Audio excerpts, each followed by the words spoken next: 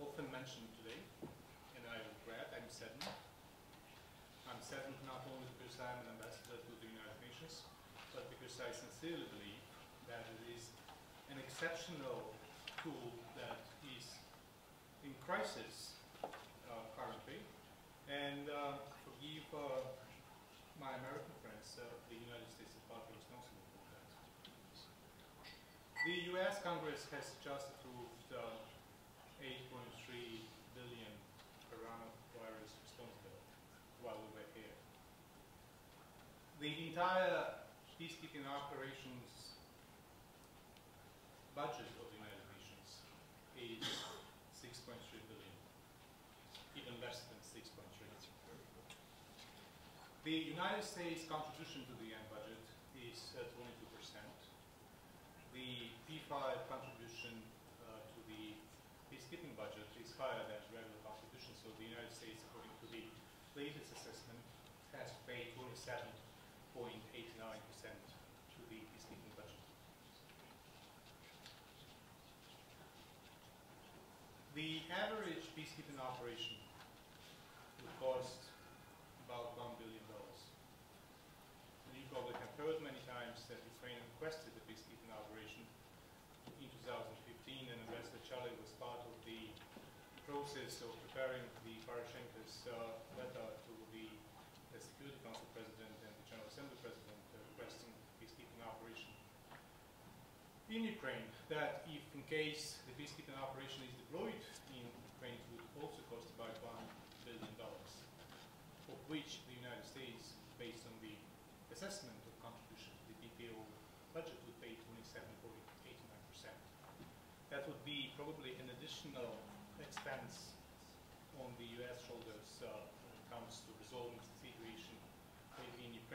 Therefore, uh, I use this example as uh, another reason why the U.S. taxpayers should be intrinsically interested in having peace achieved in Ukraine as soon as possible because the US, even being in crisis, even being at odds with the United Nations, would still need to pay to the peacekeeping budget of the United Nations. The SMM was mentioned. Uh, I just mentioned that the entire budget of the OSCE is 138 million euros. The budget of the SMM, which is a separate budget, is 108 million euros. So that is yet another argument when I defend the OSCE and I say we should really appreciate what the OSCE does for Ukraine, spending 108 million euros every year on an operation. And the SMM is the only meaningful presence in the field, whether we like it or not, whether we like the deficiencies of the OSCE. Another couple of things before I finish, and I, uh, I'm sure many of us will be happy that this event is uh, over because we need to digest many, many, many things. And I will come back to New York with many ideas that I would like to digest before I make an informed opinion about many things mentioned today. I missed another thing during today's discussion. It's not a criticism. I'm saying that as a matter of fact. Mm. I missed the Ukrainian society and Ukrainian citizens in this discussion. The Orange Revolution, the revolution of dignity, were possible because of the Ukrainian people. The Ukrainian people are the major factor of the security of Ukraine. It is not the weaponry, it's not the arms, although they are important. It is the Ukrainian people. And the Ukrainian people deserve not only a democratic market area economy, Ukrainian people deserve, deserve human rights. Human immediate victim of any military aggression. And I think we have to discuss the situation with the human rights in Ukraine in the context of the Russian aggression against Ukraine. Human rights in Ukraine, where Ukraine is occupied, like in Crimea. Human rights in the territories of the East that are not controlled by the central government. Ukraine and Colombia, for your information, are the only countries that voluntarily, without any request coming from Washington, Berlin, or Paris, invited a UN human rights mission to deal specifically with the human rights violations in the context of the military conflict. Therefore, I hope that next time we meet, and I'm sure we meet again, we will pay more attention to the Ukrainians, Ukra- regular Ukrainian people, regular Ukrainian women, IDPs, children who are the most victimized by the conflict. And the very final observation is on the 18th of uh, February, um, I'm sorry, uh, right, right, the 18th of February, I'm sorry, I'm I'm lost in the, they mentioned flying back and forth. so. Uh, I took part in the UN Security Council meeting that was called by the Russian Federation on the occasion of the fifth anniversary of the Minsk agreements, and I was very happy that the Russians were humiliated in the meeting. They shoot, as we say, in their own foot. Because not a single member of the Security Council supported the Russian Federation. All 14 members took the floor, none of them supported the Russian Federation. Why I'm saying that?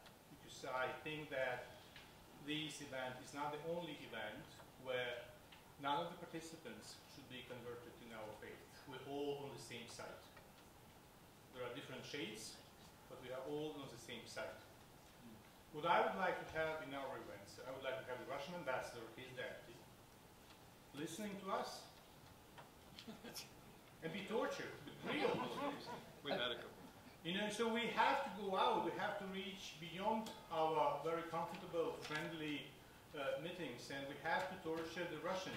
We have to invite the French, we have to invite the Germans, we have to invite everyone who is trying to make the Russian face look very good, either in New York, or in Geneva, or in Vienna, or wherever else. Of course, we need to, to have meetings of the kind and, and have frank disca- discussions among the friends. But I would very much appreciate if we have a Russian guy here or a Russian woman here, and that they would go bitten out of this room. and, and I thank you. Bravo. Welcome to the Bravo.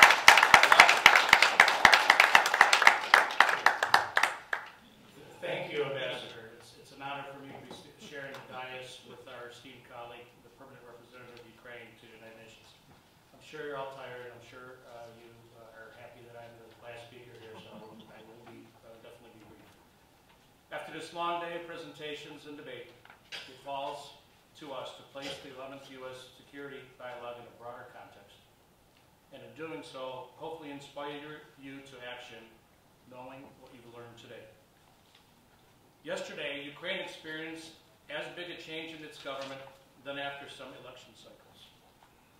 Two days ago, more than a third of delegates for the Democratic National Convention were assigned, with 14 state primaries and one caucus electing ne- uh, nearly a fifth of all primary voters this election cycle in a single day. And just 72 hours ago, I was still in Kiev doing my best to understand both of these events I just mentioned. As to the re- recent events in Ukraine, I should point out that as president of the Ukrainian Congress of Amer- America, the UCCA has made it very clear since our first communications and meetings with President Zelensky that the Ukrainian American community is willing to work with him and the Ukrainian government on our common goals. In regards to U.S. foreign policy, we will always continue to advocate for maintaining a strong Ukrainian army capable of deterring foreign aggression, maintaining the territorial integrity of Ukraine, including the return of territories occupied by Russian forces, charting a course for further integration into the Euro-Atlantic structures, including NATO and the European Union. Furthermore, we support continuing the fight against corruption, the adoption of the Ukrainian language as the official state language of Ukraine, and the final separation of the Orthodox Church of Ukraine from the Church of the aggressor.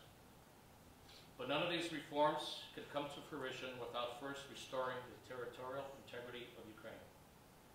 On March 1st, just a couple days ago, Russian armed forces violated a ceasefire in the joint forces operation area in eastern Ukraine 11 times. On February 18th, the enemy violated the ceasefire 22 times. In particular, the enemy launched 16 artillery shells and 18 mortar shells on just that one day in Luhansk region alone, an area which has seen an increased amount of ceasefire violations since the beginning of the year. To that end, Ukraine must maintain a clear and unequivocal position that no elections can take place in the Russian-occupied regions of the Donetsk and Luhansk oblasts until all Russian troops, mercenaries, weapons, and material are withdrawn from Ukrainian territory. Under international law, Ukraine must have the complete control of the Ukrainian side of the Ukraine-Russia border, and the displaced residents of Donbass have the right to peacefully return to their home. To achieve this goal, the UCCA will continue our efforts with the administration in the White House and then focus on expanding Ukraine's bipartisan support in Congress. I think most of you will agree we will and must prioritize NATO's Enhanced Opportunities Program for Ukraine, the renewed possibility of major non-allied MNNA status for Ukraine, and engagement in the United States political process this year. The UCCA has drafted white papers to be submitted to both platform committees, the Republican and Nash and Democrat committees, and we will once again be issuing candidate questionnaires, making sure that the strong Ukrainian presence support are reflected not only by the platforms of both parties, but also by the candidates themselves. Many of you here have participated in our Ukrainian Days of Advocacy, events which encourage busloads of Ukrainians to converge in Washington, D.C. annually to personally ask congressional representatives to support Ukraine through legislative initiatives. For the politically minded, this year's presidential and congressional elections will see candidates across the country looking to talk to you and your communities. I urge you not to shy away from meeting those candidates, but to volunteer and take part in the democratic process, to act boldly and share your Ukrainian American story with them. Today, Ukraine stands in the front lines in defense of democracy as the risk to the greater democratic world cannot be, cannot be any higher from the ongoing aggression by the Russian Federation and its proxies against Ukraine's territorial integrity. As we gather here today, I am reminded of UCCA's founding memorandum, and it still rings true today, as Ukraine continues its age-old struggle to secure its sovereignty and maintain its territorial integrity. Must remain steadfast in our support for Ukraine and continue to be guided by the mission of the founders of our organization to inform the world of the truth about Ukraine, to maintain and support our unique Ukrainian heritage, and to represent the interests of the Ukrainian American community, and also very important, to so honorably serve our new homeland, the United States of America. I want to thank Walter, I want to thank the entire team, I want to thank, thank also the additional sponsors for hosting today's event. It's an important event to take place. Thank you. Thank you very much. I just, uh, I, uh, I've seen a lot of our, our conferences, and I must say, this one, a nine to five, it actually has ended on time. Um, i- additionally, the audience was a very good audience, and we had a standing room only audience. And I must say that on, on the panels, I've always bragged that the panels were all, you know, top quality. I think the exhaustion that the ambassador has talked about comes from the fact that you've heard the very best experts in Washington on the issue. I, I've, I've, from beginning to end, I mean, from the very first word to the very last words, I must say, this was probably the most, and I- we've done over a hundred of these. This is probably the most intensive thing I've seen uh, in a long, time. So I want to thank all of you for having come. I'm going to be asking some of you, and Ambassador, you might be proud of us, we will be asking that broader question because we're going to be doing our annual report card in six different categories, not just security, but economy, national identity,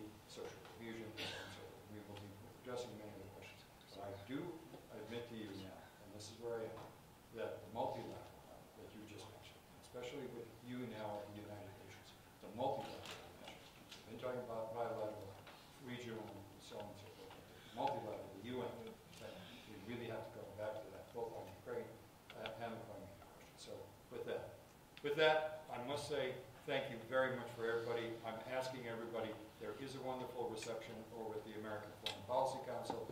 You'll see a whole bunch of